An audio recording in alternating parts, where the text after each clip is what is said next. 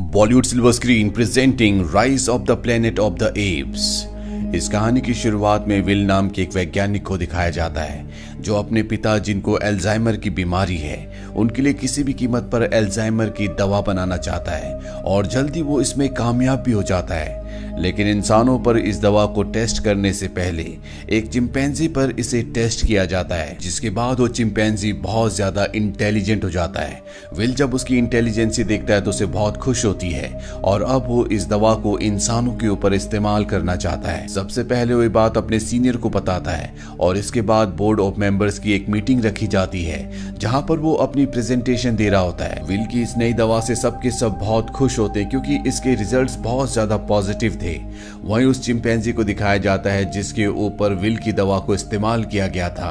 वहाँ पर एक वर्कर आता है, जो उसे वहाँ से ज़बरदस्ती अपने साथ दूसरी जगह ले जाना चाहता है, जिससे चिंपैंजी को बहुत गुस्सा आता है। वो उस वर्कर का हाथ पकड़ लेता और इसके बाद वहाँ से निकलकर चारों तरफ़ तोड़ फोड़ करना शुरू कर देता है और उस जगह पहुँच जाता है जहाँ पर बोर्ड ऑफ़ मेंबर्स की मीटिंग चल रही होती है। यहाँ पर विल चाहकर भी उसे कंट्रोल नहीं कर पाता, क्योंकि ये चिंपैंजी बहुत ज़्यादा अग्रेसिव होता है। इसीलिए इस चिंपैंजी को गोली मारनी पड़ती है। और अब चिंपैंजी की मौत के साथ साथ विल का ये पूरा का पूरा एक्सपेरिमेंट भी पूरी तरह से खत्म हो गया है। उसे इस दवा को इंसानों के ऊपर इस्तेमाल करने की इजाज़त नहीं दी जाती। हालाँकि विल अपने सीनियर को यानी कि बॉस को कन्विंस करने की कोशिश करता है कि मेरी दवा में कोई प्रॉब्लम नहीं है, लेकिन उसका बॉस साफ़ साफ़ मना कर देता है। वो कहता है कि अगर तुम्हारी दवा में प्रॉब्लम नहीं होती तो चिंपैंसी इतना ज़्यादा अग्रेसिव नहीं होता। हमें बाकी चिंपैंसीज को भी मारना होगा जिनके ऊपर तुमने दवा को इस्तेमाल किया था। और अब विल का दिल टूट जाता है। वो अंदर लैब की तरफ़ जाता है, तभी उसके पास लैब का केयर टेकर आता है और उसे बताता है कि आपकी दवा में कोई भी प्रॉब्लम नहीं है। दरअसल चिंपैंजी आपकी दवा की वजह से अग्रेसिव नहीं हुई थी, बल्कि उसने उसी वक्त एक बच्चे को जन्म दिया था, जिस वजह से वो गुस्से में आ गई थी क्योंकि उसे वहाँ से शिफ्ट किया जा रहा था। और अब विल को पूरी बात समझ में आ जाती है। वर्कर उसे कहता है कि मैंने सारे चिंपैंजीज को मार दिया, पर उस बच्चे को नहीं मार पाया जो अभी अभी पैदा हुआ है। इसके बाद विल बिना किसी को बताए उस बच्चे को अपने घर ले आता है, जहाँ पर विल के फादर भी होते हैं। और यहाँ पर हमें दिखाया जाता है कि ये चिंपैंजी का बच्चा छोटा तो है, लेकिन इसका दिमाग इंसानों की तरह तेज है। बहुत जल्दी वो विल के पिता से घुल मिल जाता है। धीरे धीरे तीन साल बीत जाते हैं, और अब वो चिंपैंजी का बच्चा जिसका नाम सीजर है वो बहुत ज़्यादा स्मार्ट हो चुका है, वो पढ़ता है, वो गेम्स खेलता है और इंसानों की तरह हर एक काम को करता है। बस वो एक चीज़ नहीं कर सकता और वो है इंसानों की तरह बोलना। वही विल के पिता को दिखाया जाता है जिनकी एल्जाइमर बीमारी की वजह से। दिमागी हालत अब बहुत ज़्यादा खराब हो चुकी है। यहाँ तक कि उनकी नर्स भी उनका ध्यान रखने से मना कर देती है। वो विल से कहती है कि तुम्हारे पिता को अब हॉस्पिटल की ज़रूरत है। घर पर उनकी टेक केयर नहीं की जा सकती। विल को इस बात से बहुत दुख होता है। और अगले दिन जब वो लैब में जाता है तो उस दवा को लेकर आता है जो उसने सीजर की मॉम को और बाकी चिंपैंजीज को दी थी, जो उसने एल्जाइमर के लिए बनाई थी। वो जानता है कि उसके पिता का बचना अब नामुमकिन है। इसीलिए वो रिस्क लेता है और अपने पिता को एल्जाइमर की वो दवा दे देता है। ये पहले इंसान होते हैं जिनके ऊपर इस एल्जाइमर की दवा को यूज़ किया होता है। और अगली सुबह जब विल उठता है तो वो देखता है कि उसके पिता पियानो बजा रहे हैं। वो पूरी तरह से ठीक हो चुके हैं। विल को देखकर बहुत खुशी होती है। यानी उसकी दवा ने उसके पिता को पूरी तरह से ठीक कर दिया है। वही हमें सीजर को दिखाया जाता है जो खिड़की से कुछ बच्चों को साइकिल चलाते हुए देखता है। सीजर का भी मन करता है कि वो भी उन बच्चों की तरह साइकिल चलाए। इसीलिए पड़ोस के घर में चला जाता है और उस घर का मालिक उसे देख लेता है। इसीलिए बेसबॉल का बैट लाकर वो उस पर हमला करता है। लेकिन इससे पहले कि वो उसे बुरी तरह से मारता, यहाँ पर विल और उसके पिता आ जाते हैं। विल उन्हें समझाने की कोशिश करता है कि ये सिर्फ़ खेलने की कोशिश कर रहा था, ये हार्मफुल नहीं है। और वो कहता है कि मेरे बच्चों को नुकसान पहुँचा सकता है। और अगर ये चिंपैंजी का बच्चा दोबारा यहाँ पर आया तो मैं इसे मार दूँगा। अब यहाँ पर सीजर के पैर पर चोट लग गई होती है, इसीलिए विल उसे डॉक्टर कैरोलाइन के पास ले जाता है। और जब कैरोलाइन उसका इलाज करती है तो उसे पता चलता है कि ये बहुत ज़्यादा इंटेलिजेंट है, क्योंकि वो चिंपैंजी यानी कि सीजर विल से इशारों में बात कर रहा होता है। दरअसल सीजर को साइन लैंग्वेज आती है, और जल्दी वो डॉक्टर कैरोलाइन से भी दोस्ती कर लेता है। अब डॉक्टर कैरोलाइन को सीजर बहुत ज़्यादा पसंद आता है, इसीलिए वो विल के घर आना शुरू कर देती है, जहाँ उसे पता चलता है कि सीजर हमेशा घर पर रहता है, उसे बाहर नहीं ले जाया जाता। इसीलिए सीजर हमेशा खिड़की से बाहर देखता रहता है। इसीलिए कैरोलाइन विल से कहती है कि हमें इसे बाहर ले जाना चाहिए। और विल और कैरोलाइन अब सीजर को पास के एक जंगल में, जिसका नाम रेडवुड है वहाँ ले जाते हैं, जहाँ कर सीजर को बहुत अच्छा लगता है। और इसी तरह से दो साल और बीत जाते हैं। और अब विल और कैरोलाइन एक दूसरे के साथ रिलेशनशिप में आ चुके हैं। सीजर भी अब बड़ा हो चुका है और हमेशा ये रेडवुड में आते हैं। और एक दिन जब ये तीनों के तीनों रेडवुड में होते तभी वहाँ पर एक फैमिली आती है, जिनके पास एक डॉग होता है, जिसके गले में पट्टा होता है, जो देखकर सीजर उदास हो जाता है क्योंकि उसके गले में भी पट्टा होता है। वो विल से इशारों में पूछता है, क्या मैं तुम्हारा पालतू जानवर हूँ? इससे विल को बहुत दुख होता है। वो कहता है कि तुम मेरे पालतू नहीं हो, तुम मेरे बेटे हो। और अब सीजर अपने बारे में जानना चाहता है कि वो कौन है, वो कहाँ से आया है। इसीलिए विल सीजर को अपनी लैब के बाहर ले जाता और बताता है कि तुम्हारी मॉम यहाँ पर थी। हमने उसके ऊपर एक दवा का इस्तेमाल किया था और उसी दवा की वजह से आज तुम इतनी ज़्यादा इंटेलिजेंट हो। और अब सीजर को अपने बारे में सब कुछ पता चल चुका है। इसके बाद एक घर आते हैं, जहाँ पर विल के पिता को दिखाया जाता है, जिनकी एल्जाइमर की बीमारी अब पहले जैसे वापस हो चुकी है। क्योंकि जो दवा विल उन्हें दे रहा था। अब उसने उनके दिमाग पर, उनके शरीर पर काम करना बंद कर दिया। इस बात से विल परेशान होता है। और जब विल घर पर नहीं होता तो विल के पिता को दिखाया जाता है, जो अपनी गाड़ी ड्राइव करने के लिए जाते हैं। लेकिन एल्जाइमर बीमारी की वजह से वो भूल चुके होते हैं कि गाड़ी को ड्राइव कैसे किया जाता है। इसीलिए वो अपने पड़ोसी की गाड़ी पर टक्कर मार देते हैं, जिस वजह से उनका पड़ोसी बाहर आता है। ये वही पड़ोसी है जिसने बचपन में सीजर को मारा था। और अब वो विल के पिता को कॉलर पकड़कर गाड़ी से बाहर निकालता है। उन्हें मारने लगता है और जब सीजर खिड़की से देखता है तो वो अपने आप को कंट्रोल नहीं कर पाता। वो बाहर आता और उस पर हमला कर देता है। सीजर इतना गुस्से में आ गया होता है कि वो उस पड़ोसी की उंगली काट लेता है। इसीलिए कोर्ट ये फैसला करती है कि अब इस चिंपैंजी को, यानी कि सीजर को घर पर नहीं रखा जा सकता। एनिमल कंट्रोल वाले उसे उस जगह ले जाते हैं जहाँ पर और भी चिंपैंजीज रहते हैं। हालाँकि सीजर उस जगह नहीं रहना चाहता, लेकिन अब विल मजबूर है और वो कहता है कि तुम्हें अब यहीं पर रहना होगा। इस बात से सीजर को बहुत दुख होता है। वहीं विल के पिता को दिखाया जाता है जो अब पूरी तरह से एल्जाइमर के एक बार फिर से पेशेंट बन चुके हैं और विल चाहता है कि वो पहले से भी ज़्यादा स्ट्रॉन्ग दवा बनाए, ताकि वो अपने पिता की बीमारी को हमेशा के लिए ठीक कर दे। और ये बात वो अपने बॉस को बताता है। वो बताता है कि वो दवा जो मैंने पहले बनाई थी, मैंने अपने पिता के ऊपर इस्तेमाल की थी, वो पूरी तरह से ठीक हो गए थे और वो दवा इतनी स्ट्रॉन्ग नहीं थी कि मेरे पिता की बीमारी को पूरी तरह से ठीक कर पाती। और अब मैं स्ट्रॉन्ग दवा बनाना चाहता हूँ। उसका बॉस उसे इजाज़त दे देता है। और जल्दी विल दवा बना लेता है। और अब उस दवा को एक चिंपैंजी के ऊपर इस्तेमाल करने की तैयारी की जाती है। और जब दवा को उसकी बॉडी में इंजेक्ट किया जा रहा होता है, तभी एक पाइप निकल जाता है। वहाँ पर इनका एक कोवर्कर होता है, जिसका नाम फ्रैंकलिन है।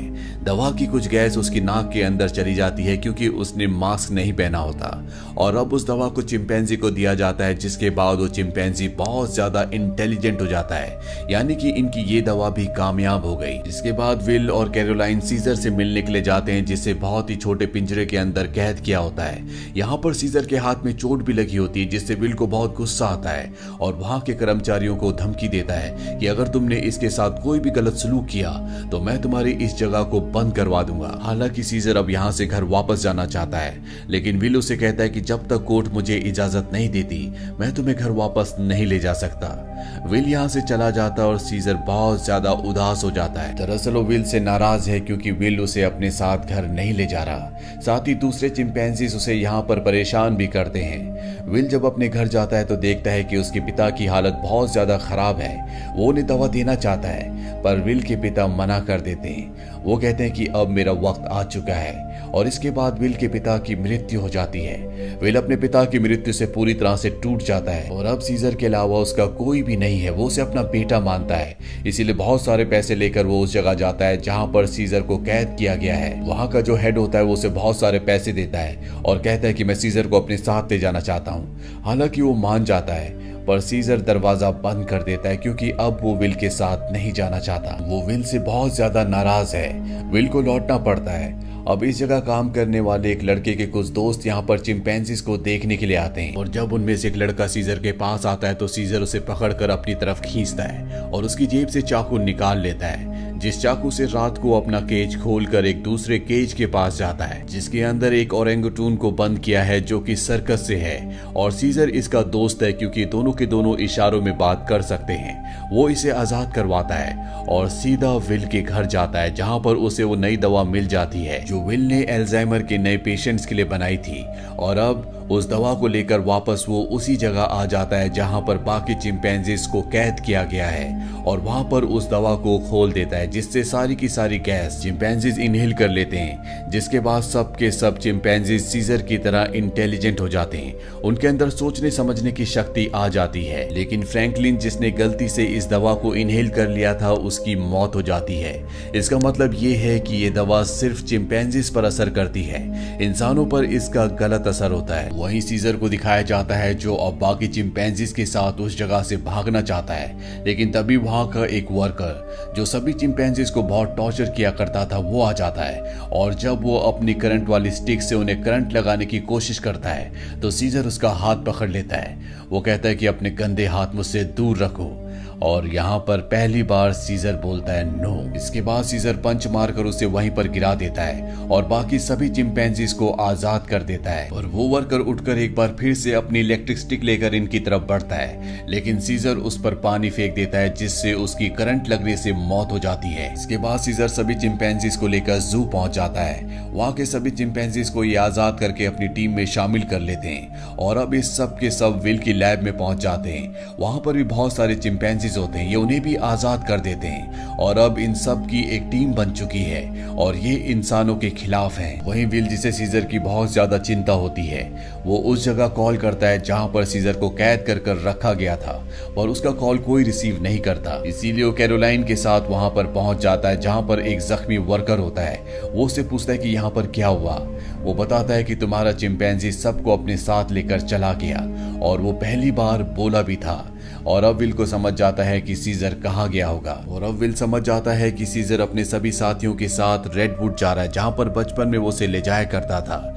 सीजर अपने साथियों के साथ रेडवुड की तरफ़ बढ़ रहा होता है। रास्ते में एक ब्रिज आता है, जहाँ पर पुलिस इनका रास्ता रोक लेती है। और इसके बाद चिंपैंजीज के और पुलिस के बीच में घमासान फाइट होती है। इनके ऊपर हेलीकॉप्टर से भी हमला किया जाता है। और जब सीजर को नुकसान पहुँचने वाला होता है कि तभी यहाँ पर एक गोरिला जिसका नाम बक होता है, वो हेलीकॉप्टर के ऊपर कूद जाता है और हेलीकॉप्टर को क्रैश कर देता है, जिससे उसकी जान चली जाती है। और तभी वहाँ पर चिंपैंजी कोबा आता है, जो उस आदमी को मार देता है जो हेलीकॉप्टर से इन पर गोलियाँ चला रहा था। दरअसल कोबा वो चिंपैंजी है, जिसकी बॉडी में लैब में नई दवा को इंजेक्ट किया गया था और अब इस सब के सब रेडवुड पार्क पहुँच जाते हैं।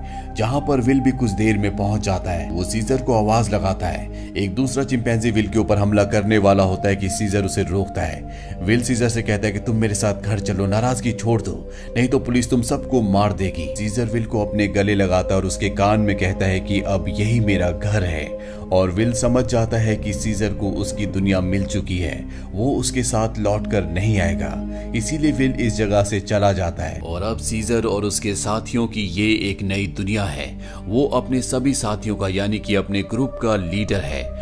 वही हमें विल के पड़ोसी को दिखाया जाता है, जिसकी उंगली सीजर ने काटी थी। दरअसल ये एक पायलट होता है, जो कि इंटरनेशनल फ़्लाइट उड़ाता है, और इसकी नाक से अब ब्लड निकलता है। दरअसल फ्रैंकलिन जो विल का कोलीग था, जिसकी नई दवा के वायरस से मौत हो गई थी, वो दरअसल विल से मिलने उसके घर गया था, लेकिन तब उसकी मुलाकात इसी पड़ोसी से हुई थी। उसे खांसी आई थी, जिससे खून के चीटे इसके ऊपर गिर गए थे, और अब ये भी उस वायरस से इन्फेक्टेड है। ये इंटरनेशनल फ़्लाइट उड़ाता है, इसका मतलब ये वायरस पूरी दुनिया में फैला देगा, जिससे पूरी दुनिया बदल जाएगी। और होता भी ऐसा ही है। इस मूवी का सेकंड पार्ट जो सन 2014 में आया था, उसमें दिखाया जाता है कि वायरस को फैले हुए आज 10 साल हो चुके हैं, और अर्थ से इंसानों की बहुत बड़ी आबादी खत्म हो चुकी है। अब वही ज़िंदा रहता है जो जेनेटिकली इस बीमारी से, इस वायरस से इम्यून है। और ऐसा 500 बच्चों में एक ही बच्चा होता है, जो जेनेटिकली इस बीमारी, इस वायरस से इम्यून हो। वही चिंपैंजीज को रेडवुड में दिखाया जाता है, जो सैन फ्रांसिस्को के पास है। वो अब भी सभी चिंपैंजीज का लीडर है। और अब पिछले दस सालों में चिंपैंजीज पहले से भी ज़्यादा स्ट्रॉन्ग और विकसित हो चुके हैं। इनका अपना एक इलाका है जहाँ पर इंसान नहीं आ सकते। सीजर का भी अब बेटा हो चुका है, जिसका नाम ब्लू आई है। और एक दिन सीजर का बेटा जब अपने दोस्त के साथ जंगल में घूम रहा होता है, तभी उनके सामने एक इंसान आ जाता है जो जंगल में अपनी टीम के साथ हाइड्रो इलेक्ट्रिक डैम देख रहा होता है, ताकि पूरे शहर को इलेक्ट्रिसिटी दोबारा से दी जा सके। और ये जो डैम होता है, ये चिंपैंजीज के इलाके में है। और अब वो आदमी जब सीजर के बेटे ब्लू अगुवाई और उसके दोस्त को देखता है तो डर जाता है और अपनी गन निकाल लेता है। सीजर का बेटा भी गुर्राने लगता है। वो आदमी डर कर गोली चला देता है, जिससे सीजर के बेटे का दोस्त जख्मी हो जाता है। गोली की आवाज़ सुनकर सभी चिंपैंजीज यहाँ पर आ जाते हैं। साथ ही जिस आदमी ने गोली चलाई होती है, उसके भी साथी जो यहाँ पर डैम को ढूंढ रहे होते हैं। चिंपैंजीज इन्हें मारना चाहते हैं, लेकिन सीजर जो कि सबसे समझदार है, वो सबको शांत करता है। इंसानों के ग्रुप का लीडर जिसका नाम मेलकम है, वो सीजर से बात करता है। वो उसे बताता है कि हम यहाँ पर किसी को नुकसान पहुँचाने के लिए नहीं आए। सीजर उन्हें कहता है कि आज के बाद यहाँ पर मत आना। तुम सब यहाँ से चले जाओ। अब वो सब के सब यहाँ से चले जाते हैं। और इन्हीं चिंपैंजीज में जो कोबा होता है, जिसके ऊपर कभी इंसानों ने एक्सपेरिमेंट किए थे, जो इंसानों से बहुत ज़्यादा नफरत करता है, वो सभी चिंपैंजीज से कहता है कि इंसान दोबारा से हमारी टेरिटरी में आ गए हैं। वो हमें नुकसान पहुंचाएँगे। इन्होंने एक्सपेरिमेंट के दौरान मुझे बहुत तकलीफ़ पहुंचाई थी, और मैं नहीं चाहता कि मेरे साथियों के साथ भी ऐसा ही हो। इसीलिए इंसानों को हमें अपनी ताकत दिखानी होगी और सीजर भी अब उसकी बातों में आ जाता है और ये सब तय करते हैं कि ये इंसानों की बस्ती में जाएँगे। और अब सीजर जो सबसे आगे घोड़े में होता है, उसके साथ सभी चिंपैंजीज इंसानों के इलाके में जाते हैं। यहाँ पर दिखाया जाता है कि जो पहले खूबसूरत शहर हुआ करता था, अब वो उतना खूबसूरत नहीं है। यहाँ पर टेक्नोलॉजी और बहुत सारी चीज़ें अब पूरी तरह से खत्म हो चुकी है और सीजर अपनी पूरी सेना को लेकर इंसानों के इलाके में पहुँच जाता है। जहाँ पर मेलकम एक बार फिर से सीजर के सामने आता है। और वो सीजर से कहता है कि हम तुमसे माफ़ी मांग चुके हैं। सीजर कहता है कि आज के बाद अगर हमारे इलाके में कोई भी आया तो हम उसे मार देंगे। हम जंग नहीं चाहते, लेकिन अगर इंसानों ने पहल की तो हम किसी को नहीं छोड़ेंगे। यहाँ पर कोबा भी है। कोबा चाहता है कि वो इंसानों से जंग लड़े, लेकिन सीजर इंसानों को वार्निंग देकर यहाँ से पूरी सेना के साथ निकल जाता है। वही मेलकम को दिखाया जाता है जो परेशान होता है, क्योंकि जिस पावर प्लांट की इन्हें ज़रूरत है, जिससे पूरे शहर में इलेक्ट्रिसिटी आएगी, वो सीजर के यानी कि चिंपैंजीज के इलाके में है। जिस तक पहुंचकर इन्हें उसे ठीक करना होगा, तभी यहाँ पर बिजली आ सकती है। मेलकम अपने सीनियर से बोलता है कि हमें वहाँ पर जाना होगा, मुझे एक और मौका चाहिए। मैं एक ग्रुप लेकर वहाँ पर जाना चाहता हूँ, मैं सीजर से बात करूँगा। और अब मेलकम अपनी फैमिली और एक छोटे से ग्रुप के साथ जंगल के बाहर पहुँच जाता है, जहाँ पर वो सीजर को पूरी सिचुएशन समझाता है। सीजर इंसानों के साथ रह चुका है, उसे पता है कि इलेक्ट्रिसिटी का मतलब क्या है, और इंसानों के लिए वो कितनी ज़रूरी है। सीजर कहता है कि एक शर्त पर तुम अंदर आ सकते हो, तुम्हें सारे हथियार हमारे हवाले करने होंगे। मेलकम मान जाता है, और अब अपनी टीम के साथ वो उस जगह पहुँच जाता है जहाँ पर पावर प्लांट है। और इसके बाद ये यहाँ पर काम करना शुरू कर देते हैं। मेलगम की वाइफ और उसका बेटा चिंपैंजीज के बच्चों से बहुत जल्दी घुल मिल जाते हैं। और जब ये पावर प्लांट पर काम कर रहे होते हैं, तभी एक चिंपैंजी को वहाँ पर छुपी हुई एक गन मिलती है। और वो गन वो लेकर जाता है सीजर के पास। और जब सीजर को पता चलता है कि इंसान अपने साथ छुपा कर यहाँ पर गन लाए हैं तो उसका गुस्सा एक बार फिर से भड़क जाता है। और वो मेलकम और उसके साथियों को कहता है कि तुम जंगल छोड़कर चले जाओ। लेकिन तभी सीजर को पता चलता है कि उसकी पत्नी जो बहुत वक्त से बीमार थी, मेलकम की पत्नी ने उसे दवा दी थी जिससे वो पूरी तरह से ठीक हो गई। सीजर ये देखने के बाद इंसानों को एक मौका और देता है। वो कहता है कि तुम्हारे पास एक दिन और है। तुम इस पूरे पावर प्लांट को ठीक कर सकती हो और उसके बाद यहाँ से चले जाना। दरअसल मेलकम का एक साथी जो कि एक्स पुलिस ऑफिसर है, उसे चिंपैंजीज पर बिल्कुल भरोसा नहीं है। वो उनसे नफरत करता है। वही यहाँ पर गन्स लेकर आया होता है और इनके पास और भी गन्स होती हैं। और जब ये गन्स एक दूसरे को पास कर रहे होते हैं तो ऊपर से कोबा देख लेता है। वो गुस्से से भर जाता है, क्योंकि कोबा भी इंसानों से नफरत करता है और वो सीजर के पास जाता है। वो उसे बताता है कि इंसानों के पास और भी हथियार हैं। तुम्हें उन्हें हमारी टेरिटरी से निकाल देना चाहिए। सीजर उसे कहता है कि तुम्हें धीरज रखना चाहिए। इस बात से कोबा को गुस्सा आ जाता है। वो कहता है कि तुम्हें अपने साथियों की चिंता नहीं है। तुम इंसानों से प्यार करते थे, क्योंकि तुम भी उन्हीं में से एक हो। और अब सीजर को इस बात पर गुस्सा आ जाता है। वो कोबा पर हमला कर देता है, उसे बहुत बुरी तरह से जख्मी कर देता है। कोबा यहाँ से सीधा उस जगह जाता है जहाँ पर इंसान और उनके हथियार हैं। वहाँ से इंसानों के हथियार लेता और बहुत सारे इंसानों को मार देता है। और उन्हें मारने के बाद वापस वो अपने इलाके में आता है। यानी कि जंगल के अंदर जहाँ पर वो कई घरों को आग लगा देता है। साथ ही वो सीजर को भी गोली मार देता है। सीजर वहीं झाड़ियों में गिर जाता है और अब वो सब चिंपैंजीज के पास जाता है और कहता है कि इंसानों ने हमारे लीडर को यानी कि सीजर को मार दिया। वो हम पर हमला कर रहे हैं। हमें उन्हें सबक सिखाना होगा। दरअसल कोबा इंसानों के खिलाफ जंग का ऐलान कर देता है। साथ ही वो ये भी ऐलान करता है कि अब मैं तुम सबका लीडर हूँ। उसे सब लीडर मान लेते हैं और इंसानों से जंग लड़ने के लिए तैयार हो जाते हैं। वही इंसानों को दिखाया जाता है जहाँ उनके घरों में अब लाइट आ चुकी होती है, क्योंकि पावर प्लांट ठीक हो चुका है। वो सब एक साथ मिलकर इंजॉय कर रहे होते हैं। वहीं सीजर अपनी पूरी की पूरी सेना के साथ उस जगह पहुँच जाता है जहाँ पर इंसानों के हथियार हैं। सबसे पहले इंसानों के हथियार को लूटते हैं और इसके बाद उन्हीं हथियारों से इंसानों के ऊपर हमला कर देते हैं। कई इंसानों को मार दिया जाता है। यहाँ पर वो छोटा चिंपैंजी भी होता है जिसे जंगल में एक इंसान ने गोली मारी थी और अब कोबा उसे हथियार देता और कहता है कि तुम्हें इंसानों को मारना होगा। पर वो मना कर देता है क्योंकि सीजर ने उससे सिखाया था कि कभी भी किसी भी इंसान पर बिना वजह हमला मत करना और जब कोबा का वो ऑर्डर नहीं मानता तो कोबा उसे मार देता है। साथ ही जो चिंपैंजीज उसका हुक्म नहीं मानते, वो उन्हें कैद कर लेता है। वही जंगल में मेलकम और उसकी वाइफ को दिखाया जाता है। जब वो आ रहे होते हैं, तभी वहाँ पर उन्हें सीजर दिखता है, जो बहुत बुरी तरह से जख्मी होता है। वो सीजर को अपनी गाड़ी में अपने घर ले आते हैं, उसका ट्रीटमेंट करते हैं। और अब जब सीजर होश में आ जाता है तो वो उन्हें बताता है कि मेरे ऊपर हमला मेरे एक साथी, जिसका नाम कोबा है, उसने किया है। मेलकम को भी यहाँ पर पूरी बात समझ में आ जाती है। और अब वो जल्द से जल्द सीजर को पूरी तरह से ठीक करना चाहता है। इसीलिए वो उसके लिए मेडिकेशन लेने के लिए जाता है। और तभी उसके सामने सीजर का बेटा आ जाता है, जिसके हाथ में गन होती है। वो मेलकम को शूट करने वाला होता है कि मेलकम उसे बता देता है कि तुम्हारे पिता सीजर अब भी ज़िंदा है, वो मेरे पास है। मुझे उनका ध्यान रखना होगा और उन्हें और किसी ने नहीं। बल्कि कोबा ने शूट किया है। इसके बाद मेलकम सीजर के बेटे को अपने घर ले आता है, जहाँ पर सीजर का बेटा सीजर को बताता है कि किस तरह से कोबा ने अपने आप को लीडर घोषित कर दिया और उसने बाहर की दुनिया में क्या क्या। किया सीजर के बेटे को भी अब पता चल चुका है कि उसके पिता सीजर पर और किसी ने नहीं, बल्कि कोबा ने गोली चलाई थी। इसीलिए अब वो वापस उसी जगह जाता है, जहाँ पर कोबा ने इंसानों को और बहुत सारे चिंपैंजिस को बंदी बनाकर रखा है। सीजर का बेटा सबको आज़ाद कर देता है। मेलकम भी इनका साथ देता है और वो इन सबको टार के अंदर ले आता है, जहाँ पर उसकी मुलाकात एक्स पुलिस ऑफिसर से मिलती है, जो चिंपैंजीज से नफरत करता है। जो मेलकम के मना करने पर भी चिंपैंजीज की टेरिटरी के अंदर हथियार ले गया था। और अब वो मेलकम को बताता है कि इलेक्ट्रिसिटी आने के बाद मैंने रेडियो से आर्मी से संपर्क किया और बहुत जल्द पूरी की पूरी आर्मी यहाँ पर आने वाली है, जो सभी चिंपैंजीज का खात्मा कर देगी। साथ ही वो ये भी बताता है कि मैंने टार के ऊपर बहुत सारे बॉम्ब को फिट कर दिया है, ताकि जब चिंपैंजीज टार के ऊपर चढ़ेंगे तो मैं बॉम्ब को ब्लास्ट करके उन सब चिंपैंजीज को मार दूँगा। हालाँकि इसमें उसकी खुद भी जान चली जाएगी। उसके हाथ में रिमोट कंट्रोल होता है। और अब ये देखने के बाद मेलकम और सभी इंसान वहाँ से भागना शुरू कर देते हैं। वहीं सीजर को दिखाया जाता है जो अब इस जगह आ चुका है। उसका सामना कोबा से होता है। कोबा और उसके बीच में एक घमासान लड़ाई होती है। यहाँ पर बाकी एप्स भी अब कोबा की हकीकत जान चुके हैं। वहीं हमें उस एक्स पुलिस ऑफिसर को दिखाया जाता है, जो टावर के एक हिस्से को बॉम्ब से ब्लास्ट कर देता है, जिसमें कई सारे चिंपैंजीज मारे जाते हैं। लेकिन कोबा सीजर और उसके कई साथी अब भी ज़िंदा है।